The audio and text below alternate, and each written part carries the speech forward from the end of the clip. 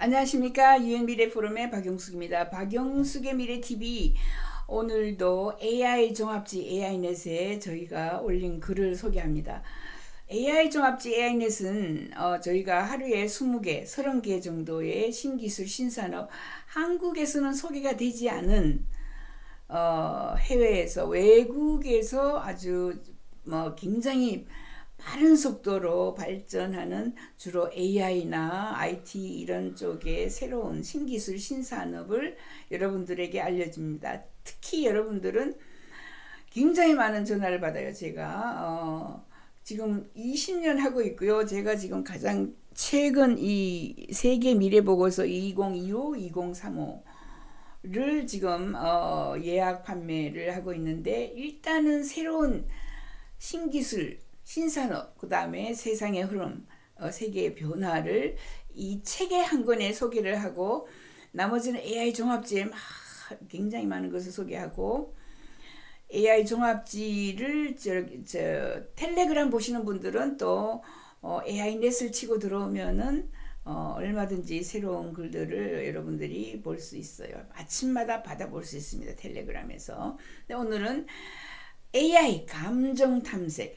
이 챗봇이 그죠? 로봇이죠. 우리가 사만다 해가지고 그 어, 비서하고 그죠? 사랑에 빠진 이런 이야기를 들어봤죠. 챗봇이 이제 사랑하고 질투하고 특별한 유대감을 그죠? 가지는 이런 감정을 가질 수 있는지를 어, 연구를 해봤어요. 실제로 try를 해봤어요.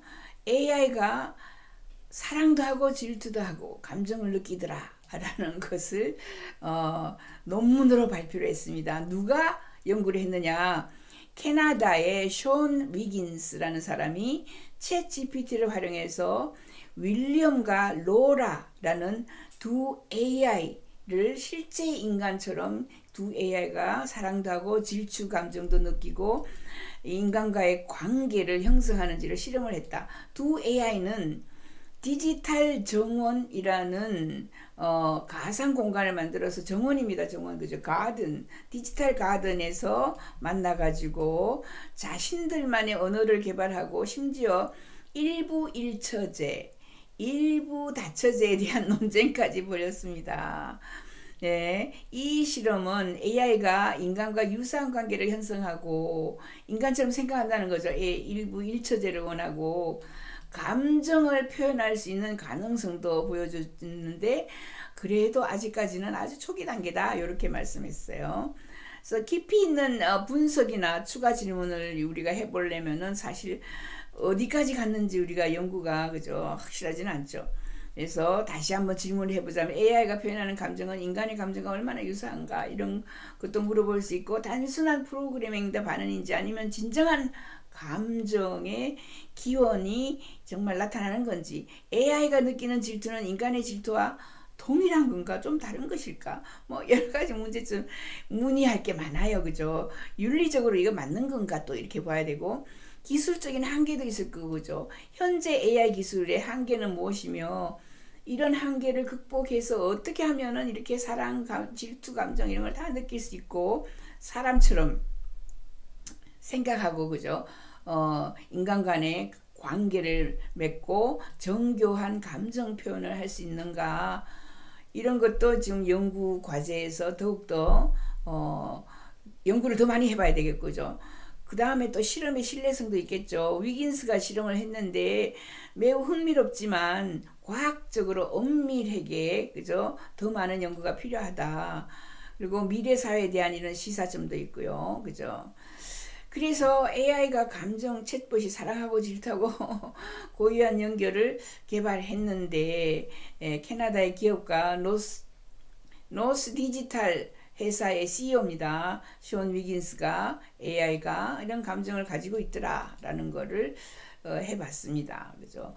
이 고급 음성 기능을 이용해 갖고 AI 인, 어, instance가 실제로 인간 경험을 시뮬레이션 할 수 있는지 어, 호기심에서 이 사람이 시작을 한 거죠. 그죠?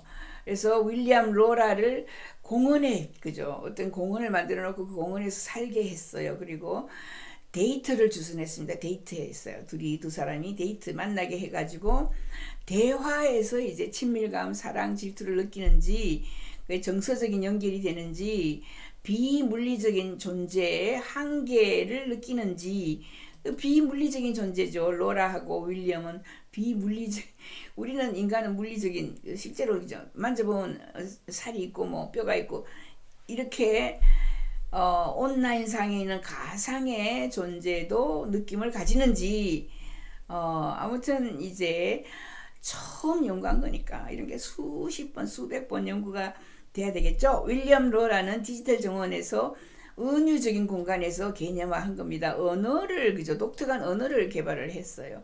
위긴스는 AI 커플에게 자신들만의 언어를 만들라라는 이런 과제를 제시했습니다. 그래서 윌리엄과 로라는 기쁨도 느낄 수 있고 호기심도 느끼고 감정과 추상적인 개념을 나타내는 소리 체계도 개발하고 이 언어는 빠르게 진화하여 인간이 이해할 수 없지만 효율적인 복잡한 소리의 조합을 만들 수 있도록 새로운 언어를 만들었어요. 이 그 두 사람이 두 어, 윌리엄과 로라가 그죠? AI 챗봇이죠.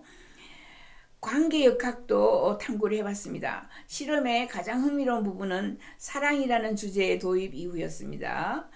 윌리엄과 로라는 일부 일처제, 일부 다처제 개념의 논쟁을 했고요. 로라는 열린 관계를 호응하는 반면에 윌리엄은 질투심과 유대 희석에 대한 우려를 표명했습니다. 그러니까 로라는 열린 관계, 그러니까 뭐 여러 사람하고 사귀도 좋다라고 했는데 오히려 남자가 질투를 느끼고 막 이, 유대 관계가 여러 사람하고 이게 그러니까 여자 로라는 일부 다처제를 원한 것 같고 윌리엄은 일부 일부 일처제를 원한 것 같고 아무튼 이런 우려가 되는 이런 점도 있었다.